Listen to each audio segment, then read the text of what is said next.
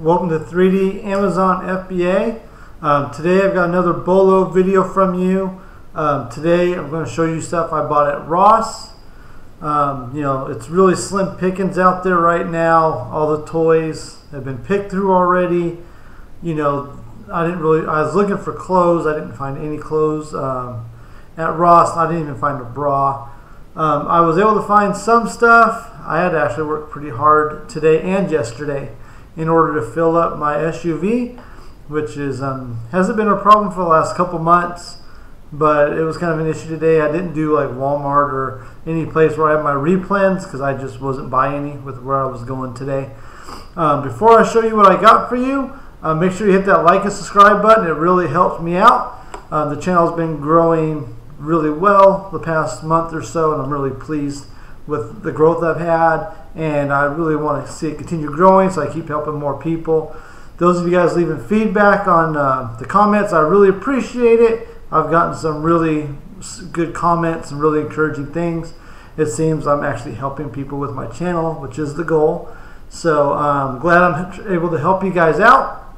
So um, I'm going to show you what I got today. I tried to get pretty well-rounded mixture of of things. Like I said, I did look pretty hard at Ross today to find um, product. So the first thing I have here is a Roblox set. Um, I love selling Roblox. It sells extremely well. I actually did a video, oh it's been months now, about selling Roblox toys on Amazon.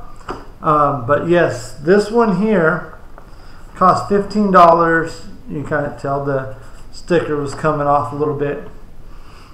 So um, yeah, I found two of these, and these were actually hidden. I wonder if someone was trying to get them later, like an employee, because they were on the top shelf behind things. You know, so it is important to move stuff out of the way, and kind of sometimes you really have to search for product. So this one here, you know, you see it costs fifteen dollars. I believe that's sixteen twenty-three with my uh, tax rate here in California. It has a 52,000 sales rank with 49 four and a half star reviews, and it's selling for $36.90. So it's a $10.23 profit. The net proceeds is $26.46. So um, if you guys see Roblox at the store, scan it. Um, not all of them are going to have um, a sales rank, so look at the reviews. Roblox sells very well. I've never had problems selling Roblox. I've had Amazon tank the price, but as far as it actually selling, I've never had an issue. But you don't worry about Amazon getting on this one because this one was a, there it is Target only exclusive. So exclusives also tend to sell really well on Amazon. So the next thing I got for you, and I know you bought this. I like selling socks. Um, I sell socks I get from many stores. You know they're lightweight and they sell really well. This one's Nike socks here. You can see it's a $3, so $3.25 with my tax rate. Um, these kind of socks sell really well. I think these are soccer. People wear these mainly for soccer, but I sell a lot of these. I haven't found very many Nike socks lately, but when I do find them, I scan them right away. I probably sell a couple hundred um, units of Nike socks every year, but they are hard to come by at times. But this one's currently selling for $13.71 with the 3,588 sales rank.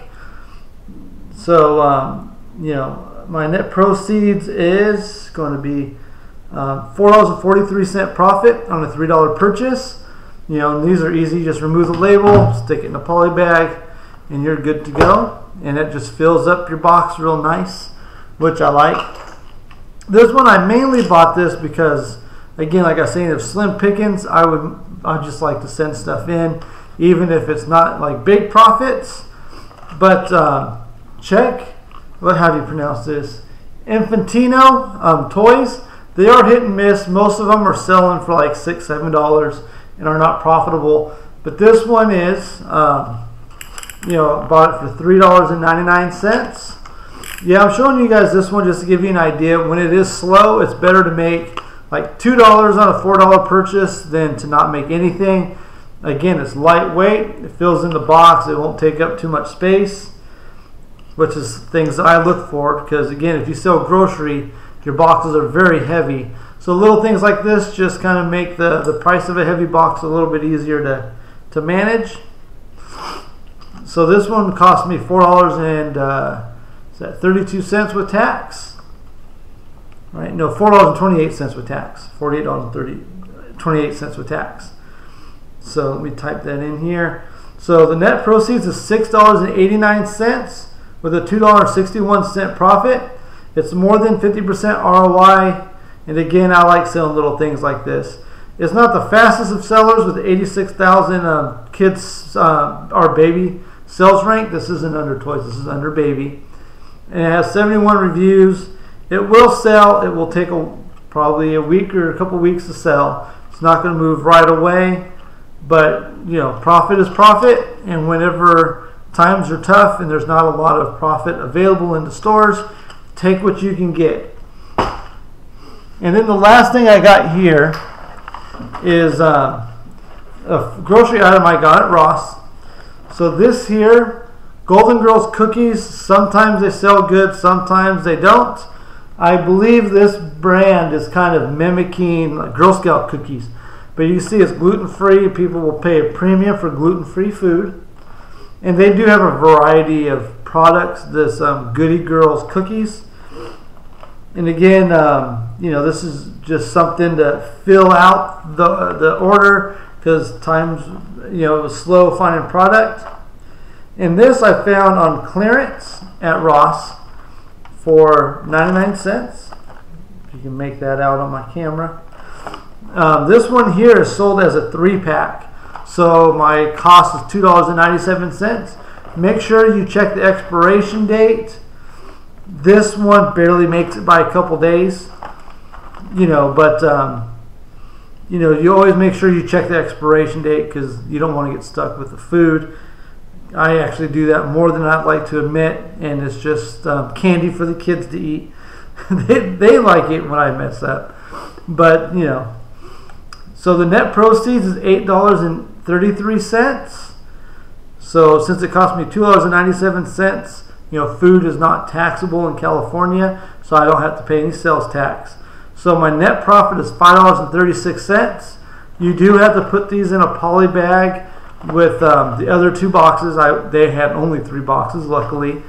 You know, uh, I recommend getting a, uh, like stickers if you're going to sell food bundles. It says do not separate, sold as a bundle or a unit or whatever. Uh, I forget what my stickers say. You know, for stuff like this. But if you put it in one poly bag, usually you're okay. I only had one time where I didn't put stickers on in Amazon, opened up everything, and it was a big mess. That cost me hundreds of dollars to square that one away. You know, but the sales rank on this is 7,105. This will sell the day it's available for purchase.